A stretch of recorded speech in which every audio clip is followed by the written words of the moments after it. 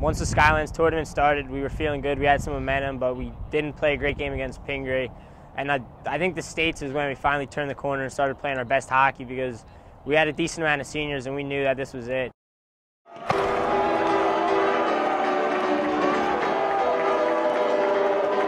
As a child, you would wait and watch from far away.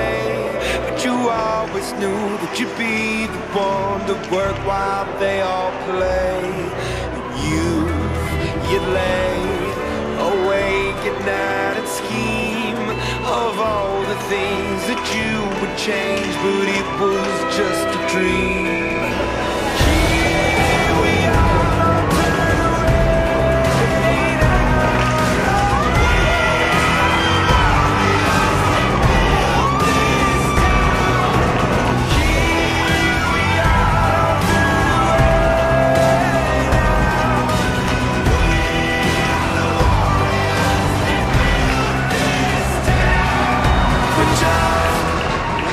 Long way to be here. you have also inspired an entire school to start caring about a hockey team. best. That means something. So let's go out there. Here we go, boys.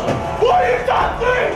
One, two, three! Warriors! above, but don't weep for me, cause this will be the